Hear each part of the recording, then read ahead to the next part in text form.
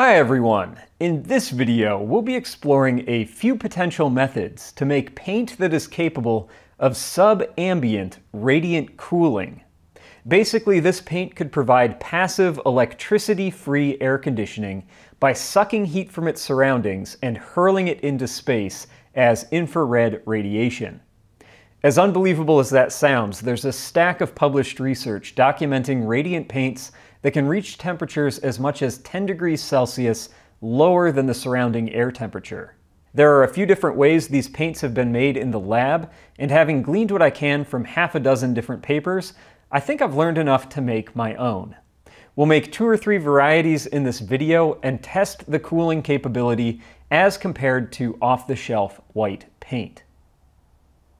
The first thing to consider is how this paint is meant to work.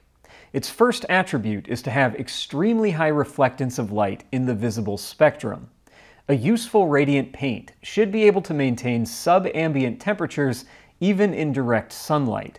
And that becomes more difficult for every bit of sunlight that the paint fails to reflect, as the remainder is absorbed as heat.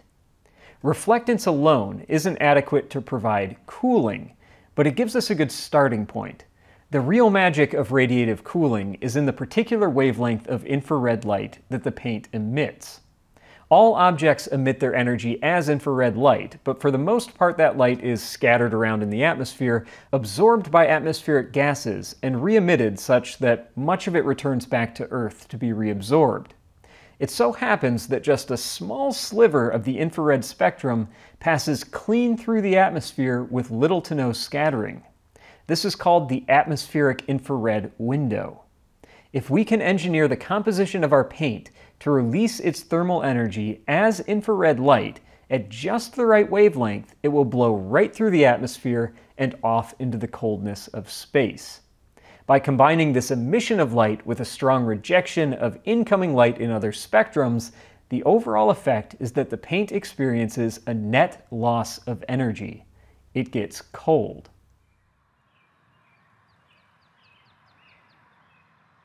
The pigment in ordinary white paint that you can buy at a hardware store is usually titanium or zinc oxide. These have great reflectance, but they lack overlap in their emission spectrum with the atmospheric window. So far, the best results in making subambient cooling paint have come from using one of two pigments, calcium carbonate or barium sulfate. Both of these are bright white with good reflectance and most importantly, the infrared emission is right where we want it. Here in this container is a little bit of diluted sulfuric acid, and in this other one is barium nitrate dissolved in water. Mixing these two will form our pigment, barium sulfate, which is so insoluble it should immediately fall out of solution. It's actually a very pretty reaction. Now, soluble barium compounds, like the barium nitrate that I started with in this container, are actually fairly toxic. So I made sure there was more than enough sulfuric acid to react with all of it. And that takes care of the toxicity. The reaction is what's called a double displacement, where the sulfuric part of the acid switches places with the nitrate part of the barium nitrate. In the end, we get a mix of barium sulfate, the insoluble pigment that we're looking for, and nitric acid in this beaker. I want to get rid of the acidity, so I'll add some concentrated ammonia, and this converts the nitric acid to ammonium nitrate. Now the waste from this experiment will be a nice fertilizer for my trees instead of a dangerous acidic mess. The barium sulfate formed by this reaction is really hard to collect with filtering because the particles are so fine they pass right through. It's better to let them settle out and then pour the water off the top. The last little bit of water can be removed by pouring the remainder onto a sheet of printer paper with paper towel underneath to gently suck the water through with capillary action. The paper contaminates the product slightly, but the result is good enough for our purposes. And here is our result, barium sulfate powder that we can mix with an acrylic base to form our paint. Well, right away I've noticed a problem. This is a sample of 60% transparent acrylic base to 40% barium sulfate pigment measured by weight. Uh, let's brush this onto an object. Do you see the problem? There's a lot of transparency in this paint. For some reason, the barium sulfate becomes very transparent when mixed with a liquid. Uh, I can see now why this is not used as a standard white pigment. In any case, I'll try applying multiple coats and see how close to pure white we can get. Here's a little setup I've put together to test the light rejection of our paint samples.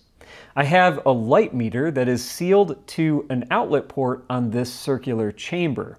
And there's a focused beam of light coming in through another port and exiting through a slot in the side. Once I close off this open face, anything I put in front of the slot will reflect light back into the chamber and give us a brightness reading that is dependent on the total reflectance of the sample. I have a slide here that's been painted with off-the-shelf white paint and using the reflectance of the light from this flashlight, we'll compare the reading with my homemade pigment.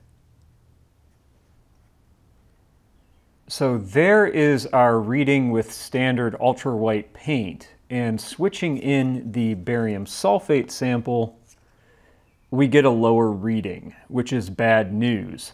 This means the light rejection is not as good for the homemade sample, and therefore even with the infrared emission, it likely will not be able to cool objects in direct sunlight.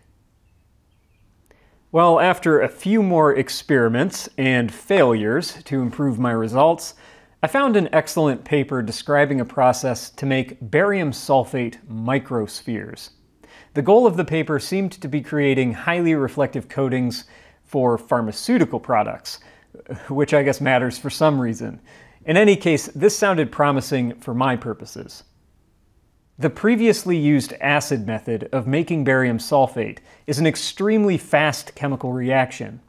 Because the reaction happens so rapidly, the end product takes the form of amorphous blobs and random crystal structures. To form a particular particle shape, like microspheres, the reaction needs to take place in an orderly fashion, with controlled nucleation points. The way this is accomplished is by using another chemical in the solution that temporarily bonds with the dissolved barium ions, so there's some hesitation before they react.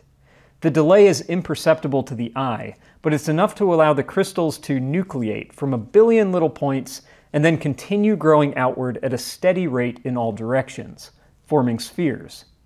The chemical used to inhibit the reaction is called EDTA, which I mix into my soluble barium solution. No measurements were given in the paper I was referencing for this process, so I guess a molar equivalent with the barium should be about right. I tried half a dozen times to make this reaction work with barium nitrate as my starting chemical, because I have a lot of it and it's fairly inexpensive. This, however, seemed to cause a weird side reaction with the EDTA forming a sticky substance which was completely inseparable from my barium sulfate end product.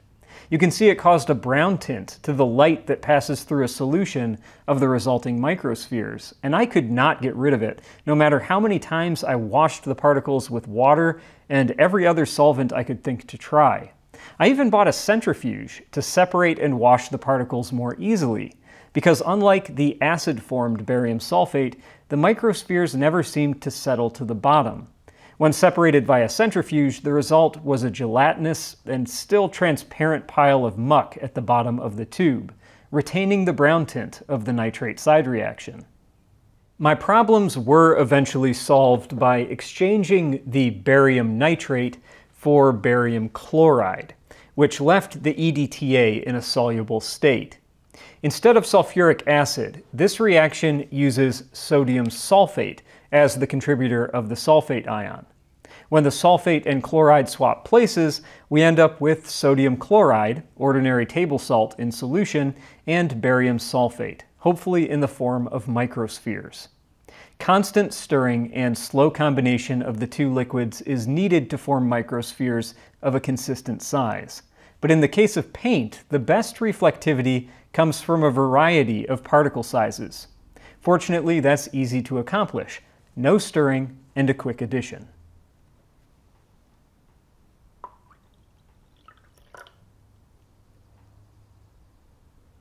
Without the nitrate to form a weird gel, the spheres do eventually settle to the bottom of this container by gravity alone, but much more slowly than the acid-made pigment. My earlier centrifuge purchase still ended up being helpful for this purpose, as I can reduce the settling time from a few hours to just a few minutes at 4000 RPM.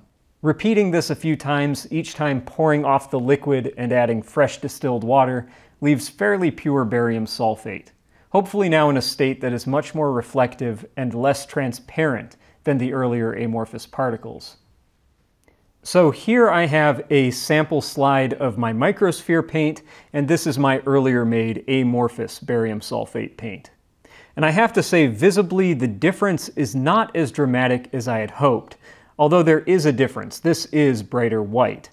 I've let these dry so that we can now take a look under the light meter. So the microsphere paint does read a little bit better, but it still has some obvious transparency. Since multiple papers report using barium sulfate in these paints, there must be some unmentioned secret sauce that's being used to reduce the transparency. My initial thoughts are that perhaps the barium pigment is being mixed with a standard titanium or zinc-based paint, or perhaps the barium paint is only used as a top coat over a layer of opaque white paint beneath it.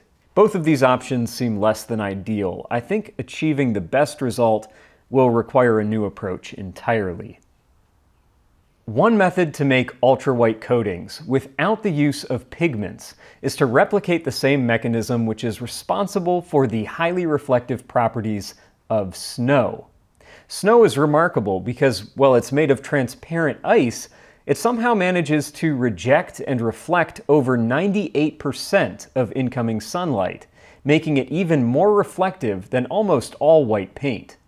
It does this with an enormous amount of small air pockets, which cause any light that passes through to stand a pretty good chance of hitting mirror-like surfaces of the ice crystals.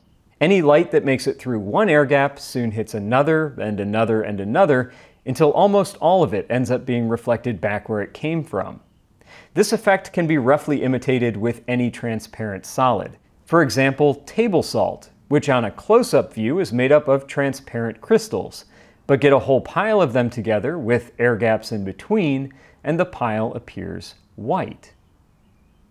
To make use of this snow scattering effect in a way that's practical for a painted surface, we're looking to achieve the maximum amount of air gaps in the thinnest layer possible. One method I found described in yet another article uses a clever series of physical reactions, first dissolving an exotic plastic in acetone, then adding a small amount of water. When this dissolved plastic mixture dries, the acetone evaporates first, leaving behind a layer of plastic which is completely permeated with microscopic water droplets. When the water dries, we're left with millions of tiny, regularly spaced cavities in the plastic. While the paper describing this process used an exotic and expensive plastic, I was able to replicate their results with ordinary transparent acrylic, which dissolves in acetone after a few days. Now you can't just add water directly to this solution of dissolved acrylic because the water causes the plastic to crash out of solution instantly, forming little plastic jellyfish blobs with the water sealed inside. I found the best way to introduce water is to first mix it in a 1 to 4 ratio with acetone. So 0.1 mil of water is added for every 0.5 mils of this solution. So let's give this a try. If I've added enough water, the dissolved acrylic should go on clear and then turn white as it dries.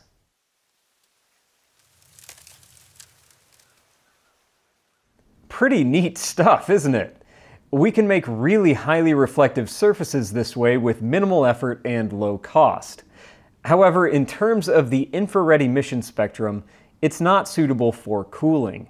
For subambient temperatures, we still need the barium sulfate or some other pigment that hits the infrared window. My idea at this point is to combine the brightest of my barium pigments, my sulfate microspheres, with the acrylic acetone mix. If all goes well, the snow scattering effect of the acrylic will aid in light rejection and opacity where the barium sulfate falls short, and the barium sulfate will contribute favorable emission. First of all, here is a test of various water ratios in the acrylic base. I dissolved 10 grams of acrylic in 100 mils of acetone, so I know there's 1 gram of plastic for every 10 mils of this solution. This allows me a controlled way to add incremental amounts of water and find out just how much should be added per gram of plastic for the best result. Between 0.5 and 0.6 mils of water per gram of plastic gave me good reflectance in this test with minor loss of adhesion and contraction. Later, when I opened a brand new can of acetone, I found that I had to double the amount of water added to achieve the same result, so apparently my old can absorbed quite a lot of water from the air with age. Once I determined the best results without pigment, I did a few tests with added barium sulfate, 2 grams of sulfate for 1 gram dissolved acrylic. So here is a test slide with the best result of my combinations, and to my eyes, this looks significantly brighter than off-the-shelf paint. If the reflectance test agrees, and if there's enough pigment for good infrared emission, I think there's a good chance that this will work. So let's give this a try. That is looking significantly better than my earlier attempts. The snow scattering effect seems to be really effective. Here's off-the-shelf paint and my paint. This might be a big enough difference to offer some cooling in sunlight. So here is my first full-size test sample with ordinary white paint as the background of the square and an X in the center, which is my snow scattering paint. The X was painted right onto the wooden subsurface with the off-the-shelf paint painted around it so that it would not be a double layer, which might make an unfair test. Now, I've made an awkward infrared camera rig with dual split lens filters on my camera so that I can get both close focus on the infrared camera and distant focus simultaneously. Hopefully, I'll also not overexpose the bright daylight landscape. Using this, let's take a look at my test sample after leaving it out in the sun for a few minutes. And here we do have a successful result. Clearly my paint is substantially cooler than the surrounding ordinary paint. But is it subambient? Not quite. The air temperature was about 65 degrees at this time, so we're close, but direct sunlight is the most difficult scenario for radiant paint. The best recorded results are only a few degrees cooler than ambient temperatures in direct sunlight, so to even get close with my DIY methods is satisfying. I think it's safe to say this is better cooling than you can probably get with any other paint currently available for purchase. Even so, sub-ambient temperatures are important for this to be useful. Fortunately, noonday sun is only around for a small sliver of the day. Let's try some tests with indirect sunlight and see if we can hit subambient numbers. This next test brought some unexpected results. My paint is currently a few degrees colder than air temperature here in the shade, subambient, but so is the commercial paint. My paint might be slightly colder, but not substantially. In direct sunlight, it's obvious that my paint is significantly better than ordinary ultrawhite, but I didn't expect the off-the-shelf paint to be so close in performance once direct light was gone. Despite not matching with the infrared window, it seems normal titanium-based paints can work pretty well for subambient nighttime cooling. Still, barium should be able to do much better, so all I can think is that I've not added enough pigment. I thought 2 grams of pigment for each gram of dissolved acrylic was pretty generous, but apparently more is needed. Here I have a 4 to 1 mix, and in this jar, 6 grams of pigment to each gram of dissolved acrylic. You would think that adding so much would get in the way of the snow scattering effect, but both of these mixes seem to work just fine, and actually read a fair bit more reflective than my original 2 to 1 mix. In outdoor testing, the 4 to 1 mixture proved to be significantly better at daylight cooling than the 2 to 1 mix, and the 6 to 1 was even better still, but just by a few fractions of a degree. This could maybe use a little bit of fine tuning to dial in on the perfect mixture, but the 4 to 1 paint variation is what I used to make this sign, the result of which I think speaks for itself. The lettering is my homemade paint, surrounded by off-the-shelf ultra white, which clocks in at a full 20 degrees Fahrenheit warmer after a few minutes in the sun. That is an incredible difference in temperature for two paints of the same color.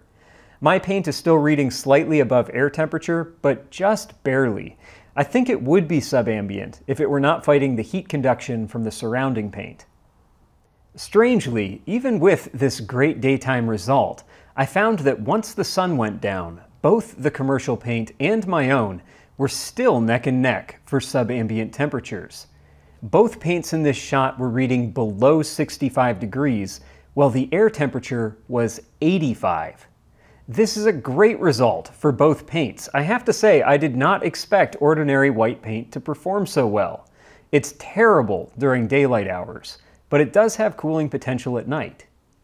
Now, since I tested so many different paints, I got tired of making my own barium sulfate and ended up just buying some. Theoretically, microspheres should do even better than this store-bought amorphous powder, but since the snow scattering acrylic mix is the primary reflecting agent of this paint, added reflection from the pigment is just a bonus.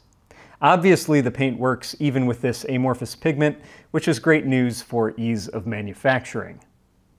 Now at this point, having so far only matched air temperature in direct sunlight, I reread some of the articles about how subambient temperatures have been reached by others, and realized most daylight cooling requires putting a film over the top of the paint to insulate it from the heat conduction of the wind. A thin polyethylene film apparently works well and allows infrared light to pass through it. I used this little tray to hold two samples of paint, my paint, and off-the-shelf paint with a thin film stretched over the top to insulate the samples. With this, finally, we get some daylight cooling. My first test in this tray gave us about 2 degrees Fahrenheit below ambient. This was in direct noonday sunlight, so even though it's only a few degrees of cooling, it's cooling that could be counted on even in very unfavorable conditions. Added to 20 plus degrees of cooling below air temperature at night, it's not hard to think of ways that this could be used to keep something cold all day long. For example, by cooling a building to 20 degrees below air temperature at night, so it lasts through the next day like a giant thermal battery. By the time it approaches air temperature, the sun is setting again and a new cooling cycle begins.